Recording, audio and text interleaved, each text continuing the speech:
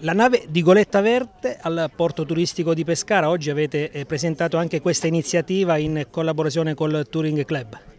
Sì, abbiamo premiato Torre del Cerrano consegnando per la prima volta quattro vele in Abruzzo, appunto al comprensorio dell'area marina protetta, proprio in riconoscimento del lavoro fatto non solo dal punto di vista della tutela e conservazione ambientale ma anche di promozione turistica.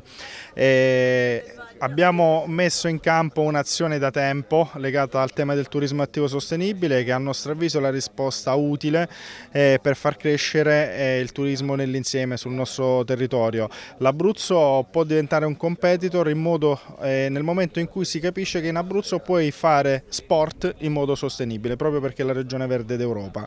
E in più abbiamo anche premiato un lavoro fatto dai ragazzi del secondo corso del secondo anno eh, di architettura architettura della facoltà eh, dell'Università di Chieti Pescara eh, legata proprio a un'idea nuova di eh, riqualificazione del fiume Pescara che mette dentro l'idea di, eh, di, una nuova città eh, pescarese che guarda al tema della produzione, dello sport e della cultura. Non possiamo però non chiedere a Giuseppe Di Marco qualcosa, visto che parliamo di Goletta Verde, sullo stato delle acque del mare della nostra regione. Siamo in piena stagione estiva, qual è la situazione?